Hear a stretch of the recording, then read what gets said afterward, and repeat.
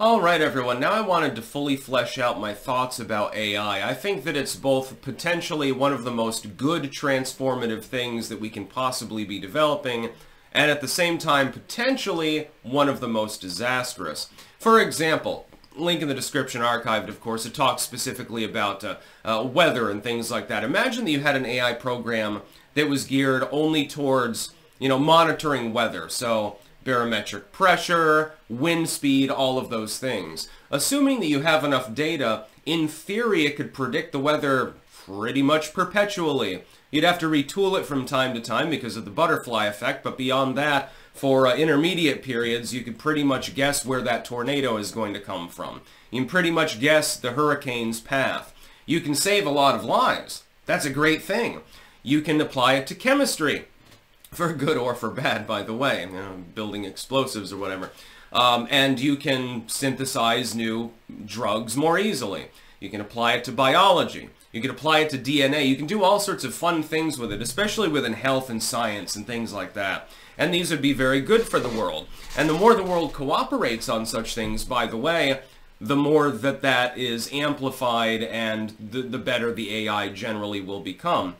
In the last 10 years, AI has gone from very, very rudimentary, like, you know, basically can spit out text. Like, uh, you remember the uh, chatbot that Google had? I don't know if they still have it. I can't even remember what it was called. That was a long time ago. And you could sort of like chat with it. Well, look at the AI companions that they have now. It's like night and day. Uh, it's far less rudimentary than before. I think there are two problems, though with AI. Now, I don't think it's going to destroy the world or something like that, although it is a plausible scenario. I, I, I hope that human can, kind can, you know, not uh, glass the entire world over. There are two problems.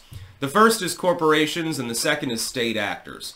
So corporations tend to be the ones that are fielding anything approaching sophisticated AI at the moment. It's like Amazon and Google and companies like that uh, Grok with Twitter, for example, on X. Um, it tends to be big corporations. Uh, ask yourself who runs them. People who are not always necessarily the most benevolent characters in the world. So the AI, it's being used um, both for public entertainment and for other purposes, generally speaking, is being fielded by big corporations. Very proprietary, um, very regulated, uh, very uh, extremely technologically sophisticated, but the people that are running those companies aren't necessarily the sort of people you want to trust with that power. The bigger problem, though, is state actors. That is that governments have begun to dig into AI. Uh, there's, uh, for example, right now there's an article up. It's about China and microprocessors and things like that, and the United States attempting to cockblock the Chinese from obtaining U.S. Uh, processing chips and things like that for fear that they'll create some sort of military AI advantage. Uh, which I agree with, although it's not really actionable because they can just buy it through a third party, so it doesn't really make sense. You know, smuggling does exist, believe it or not, still to this day. A uh, little bit different from the uh, old days of the, the, the old Caribbees and stuff like that, but uh, yeah, it does happen. So it's inevitable that they're going to make that breakthrough. They're going to adapt U.S. microprocessing and shit like that. It's going to happen. Uh, so I think it's an empty gesture. The right thing to do? Yes. Is it actually meaningful? No.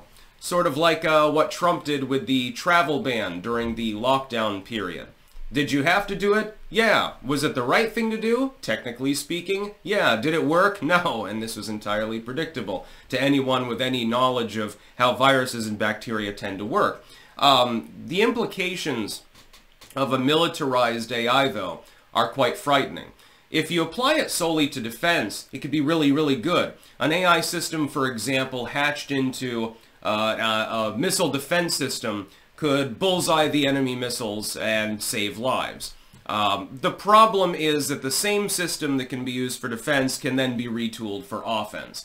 So you might end up with a weird situation in which you have some war in the future, maybe 10 years from now, 15 years from now, in which two countries are fighting one another, and one of them is bombarding them with rockets that are AI trained, and the other one is attempting to defend with AI trained anti-rocket systems. And then you have to sort of sit back and see whose AI is better. uh, there's a reason why the U.S. government is investing so heavily in this technology. Thankfully, we have an exceptionally beefy tech sector, so we have the advantage when it comes to that. But at what cost? Uh, while I support my country, and I certainly don't want, you know, Chinese communists to have far more sophisticated AI military systems or something like that, because that would be a big fucking problem.